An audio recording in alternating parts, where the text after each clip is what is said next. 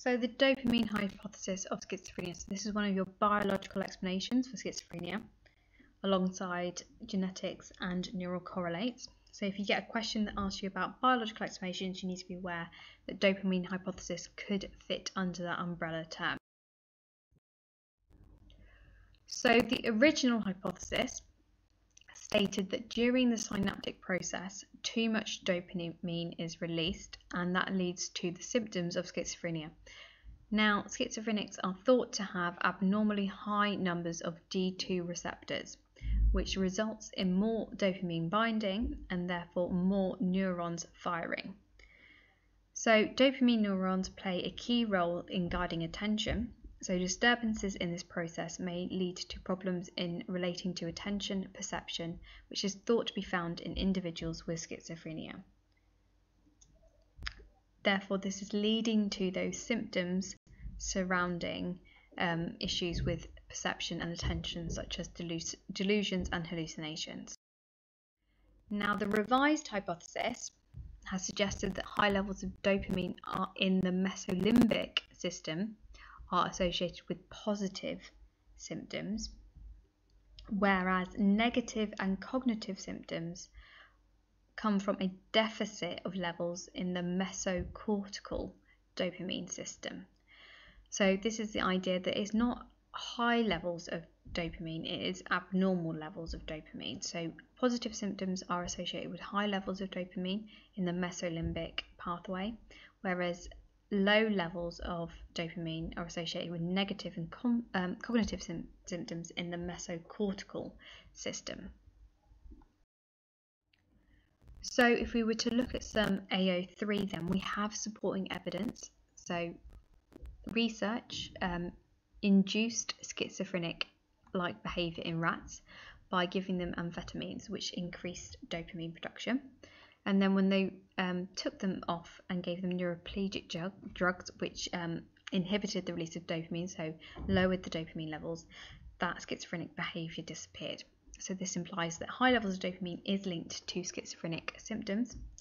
However, an issue with this research is it's done on rats and extrapolation to humans. It's likely that although there might be some biological similarities, um, we should be cautious when generalizing to humans. Equally, we have inconclusive evidence from PET scans, so we have contradictory evidence. So they failed to find convincing evidence of altered levels of dopamine in the brains of individuals with schizophrenia. So therefore, this implies that dopamine might not be the sole cause and we all offer a full explanation of schizophrenia. So therefore, we should be cautious when um, drawing conclusions from research. However, it has been useful, it has led to real world application and effective drug therapy. So, this has led to antipsychotic medication being developed, which um, reduces dopamine levels, and it's been found to be uh, more effective than placebos in reducing symptoms of schizophrenia. So, if the drug treatment can lead to successful um, management and treatment of schizophrenia, it implies that the um, explanation of high levels of dopamine or altered levels of dopamine is a valid explanation for the cause of schizophrenia. Now, equally, in regards to the testability, we have issues surrounding cause and effect, so we can't establish cause and effect. In a review of post mortem studies, it was found that patients who displayed high dopamine levels had received antipsychotic medication before they died. So we can't establish whether um, dopamine levels um, cause schizophrenia, whether schizophrenia causes the high levels of dopamine, or whether the antipsychotic medication altered their levels of dopamine within the brain. So in terms of a 16 marker then, discuss one or more biological explanation of schizophrenia. So again, with this one, you could just talk about the dopamine hypothesis, or you could uh, include another explanation, which would be your genetic or neural correlates.